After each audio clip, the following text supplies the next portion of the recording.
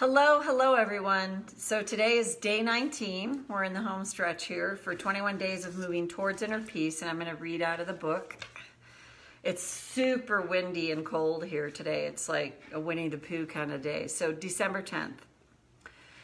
You are the universe expressing itself as a human for a little while. Eckhart Tolle. How interesting. This might help me to unhook from the need to find my purpose to live my dreams. I meant to, if I meant to live in a way that's fulfilling for me. The difference is when I think I have to know best or figure it all out, I can get stuck in the ego's agenda. What if I can consider that I can be used for the highest? Oprah often said that her prayer is, use me for the highest.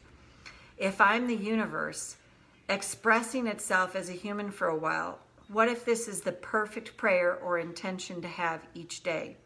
To allow the universe to use me for the highest good. In this way, I need not figure out what my purpose is or how to live my dreams. Instead, I'm allowing myself to be a vehicle that the universe uses. And what if the universe shows me how and allows the, me to flow, feel the flow of life intended for me? Thought for the day, what if I need not figure this all out? It's that is such a great reminder.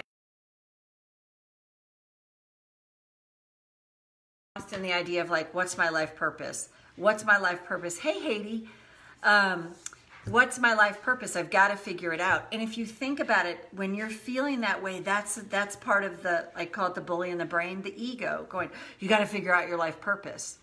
Because anytime you feel bad and feel stress about something, that's not the inner voice. That's that's not it. It's it's the bully in the brain. It's the highly ego-based culture that's telling you you've got to know your purpose. You can't let let life pass you by. So, what if you did consider that each day you wake up and use me today for the highest, whatever you believe is out there. You, what if I could be used for the highest? Show me how to be used for the highest. It can be your authentic self the wiser part of you. And it doesn't matter what your job is then, what you're doing. If you're touching people's lives in some way that you're being guided to do, then you kind of let go of the idea of got to figure out what my purpose is. The idea of needing to find our purpose in life is a construct of an ego based culture. And you know it because of how you feel. And when you feel like, oh, I'm not, like, life's passing me by and I'm not doing my purpose. That's not the way we're intended to live. That's stress. It's, and this is why I say it's a detoxification process to unhook from an ego-based culture. So let's tap. Karate chop. Even though I put pressure on myself, I think I have to find what my purpose is. and if I'm not living my purpose, I'm missing the boat. I choose to acknowledge this truth right now. Even though it feels like pressure to tell myself, I've got to figure out what my purpose is. I deeply and profoundly accept myself anyway now. Even though I can put a lot of pressure on myself around finding my purpose. What if I could see this differently? Even just a little bit now. I've got to figure out what my purpose is. But that just feels like pressure. And what if the truth is if I'm feeling pressure about this, that's a construct of the ego and this culture that I live in. What if I can unhook from the idea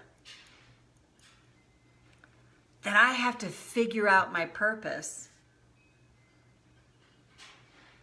And what if instead, I could just ask. to be used for the highest. Use me. Use me today for the highest good. Open me up to what that looks and feels like. Use me for the highest good. What a concept. What a different way to see this. So instead of pressure it, pressurizing myself about figuring out and finding my purpose, I ask to be used for the highest good. And what if that makes a big difference? And I start to notice I feel better. I feel less pressurized. Maybe I notice synchronicities, how things open up for me. And maybe I get evidence in what appears to be the mundane of the flow moving through me. I kind of like that idea a lot. That whatever I've been taught to believe is mundane isn't at all. In fact, I bet I could get a lot of evidence there. What it feels like and looks like to be in the flow. And what if I could be open to that? Even just 1% right now. So take a breath. Um, it was so, for me, so great to wake up to that idea of like this whole thing about finding your purpose. And it's just pressure and it feels bad. It's like, what's going on? And it's like, no, I love that. Use me. I can't tell you how often I see in the mundane and I catch it more and more like, wow, there's the flow, there's the synchronicities. But our, our ego-based culture wants, loves the superstars, wants the big, bright, shining stars of light instead of like, wow, there's some flow there. So, Haiti, great to see you here live and thanks for being here with me and we'll see you back here tomorrow for day 20. Bye for now.